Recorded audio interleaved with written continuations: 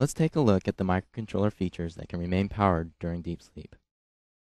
The real-time clock calendar can be configured to keep time during deep sleep. It can even continue to output a seconds clock signal during deep sleep. Other I.O. pins will maintain their state during deep sleep and throughout wake up until the deep sleep release bit is cleared. Deep sleep registers will retain data over deep sleep, even though the rest of SRAM is powered off. If more data is needed, an application can use the table read-write features to save data to flash memory. On some devices, double EEPROM memory is also an option. The Deep Sleep Brownout Reset feature can be enabled to provide an indication of integrity for the special Deep Sleep and RTCC registers, in case power levels drop too low for safe operation. In addition to these features, several different wake-up sources can be enabled to operate through deep sleep. Let's take a look at them. The most common wake-up sources available for deep sleep include Interrupt Zero, the Deep Sleep Watchdog timer, a real-time clock calendar alarm, and ultra-low power wake-up. Of course, MCLR Reset can also be used as a wake-up source. However, I.O. pin states will be lost upon wake up instead of waiting for application firmware to clear the deep sleep release bit. A power off, power on sequence will also wake a device from deep sleep, but this will behave exactly like a traditional power on reset. Data stored in special deep sleep registers will not be retained over a full power off, power on cycle, since VDD voltage is required to maintain these deep sleep registers. Like MCLR Reset, power off, power on cycling will not retain I.O. pin states. Waking from interrupt 0 happens when an external interrupt edge is detected on the int0 pin. int0 can be configured to be active high or active low. The example circuit shown is for an active high int0 pin. A push button is used to pull the int0 pin high briefly, while a pull-down resistor normally holds the pin at a low state. To reduce switch bounce sensitivity, a capacitor can be added to low-pass filter the signal. The Deep Sleep Watchdog timer provides another wake-up source for deep sleep. It is not the same module as the software Watchdog timer that you might be familiar with during active run mode. It is a separate module specific to deep sleep. The Deep Sleep Watchdog timer requires a clock source to keep track of how long to stay in deep sleep.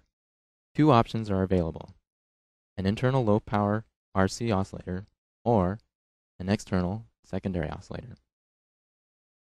The Deep Sleep Watchdog timer should always be run from the internal RC oscillator if robustness is needed, allowing an application to wake up even if a crystal failure has occurred.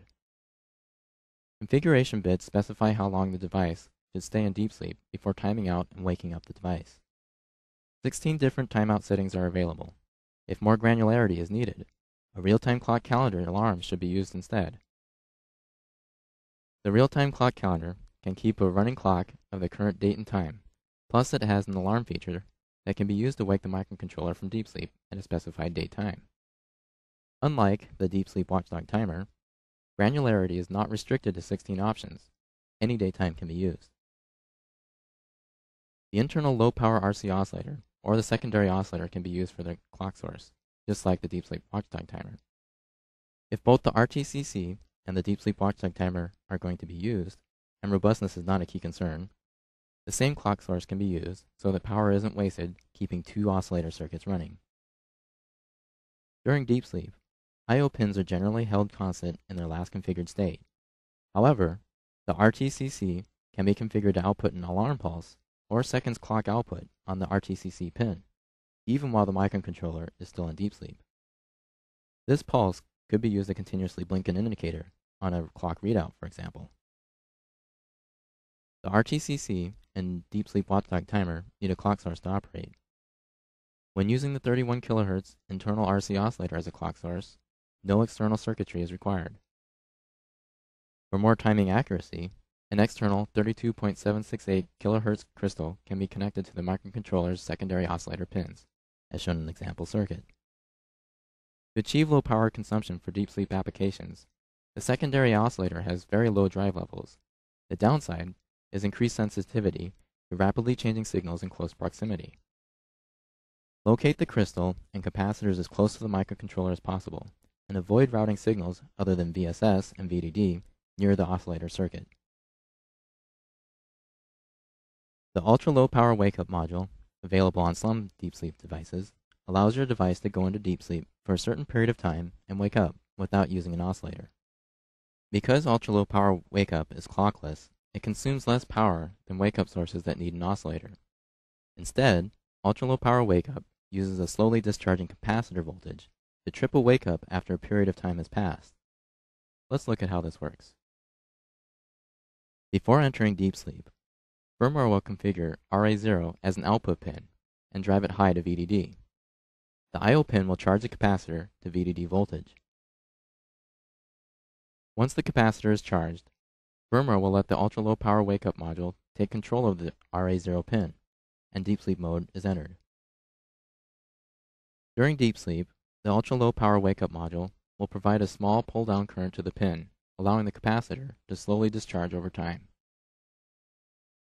When the voltage of the capacitor finally drops to the I.O. pin's trip point, nominally 1 half volt, the device will wake up from deep sleep. Now let's take a look at how firmware can be written to work with deep sleep. When the microcontroller first powers on or wakes up from deep sleep, it will start executing code from the reset vector. If the RTCC is using the secondary oscillator to keep track of time, the secondary oscillator should be enabled before clearing the deep sleep release bit. This allows the RTCC to continue operating continuously without losing time. Deep sleep hardware will keep the RTCC and secondary oscillator running throughout deep sleep and wake up. Applications that aren't using the real-time clock can skip this step. Next, firmware can check the deep sleep wake up status flag to see if we are powering on for the first time, or if we are coming out of deep sleep. If coming out of deep sleep, Firmware can read data from the deep sleep registers to determine which wake-up source was triggered and restore application context. Waking up from deep sleep causes a power on reset, which in turn resets most registers back to their power on default values. However, immediately applying these default settings could be undesirable in a deep sleep application. So, a special deep sleep feature prevents certain register changes from being applied during startup. Without this feature, I.O. pins would all revert to being tri-stated, and the secondary oscillator would be disabled immediately on wake up. The end result would be losing track of time and losing control over external circuitry.